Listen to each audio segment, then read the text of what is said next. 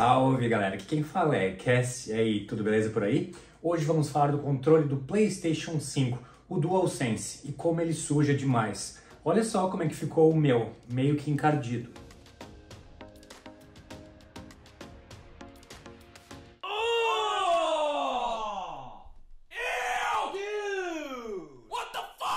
Ok, você lava as mãos antes de jogar. Você não come durante a jogatina.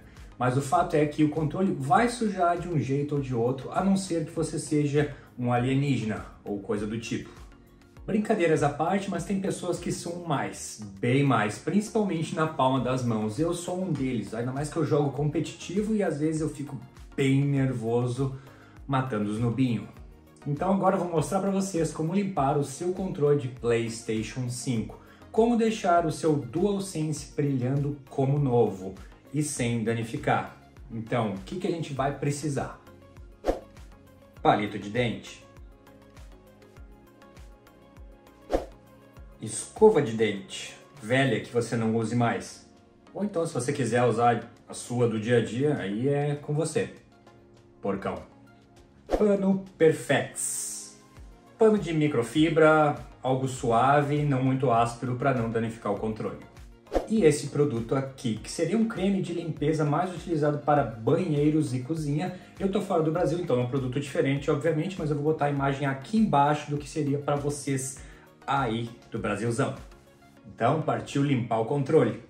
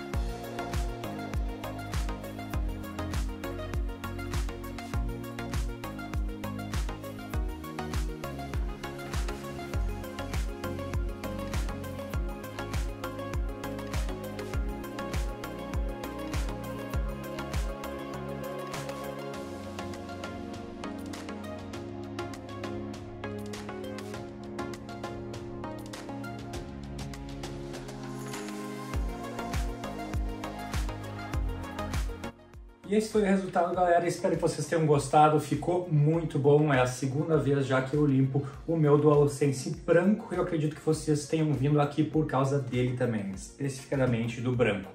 Eu já fiz também em outras cores, vou dizer para vocês, só tenham cuidado, não esfreguem muito forte e não botem muito produto, mas eu já fiz nesse aqui também e como vocês podem ver, ele tá perfeitinho, não tem nada de errado com ele, ele não perdeu a cor.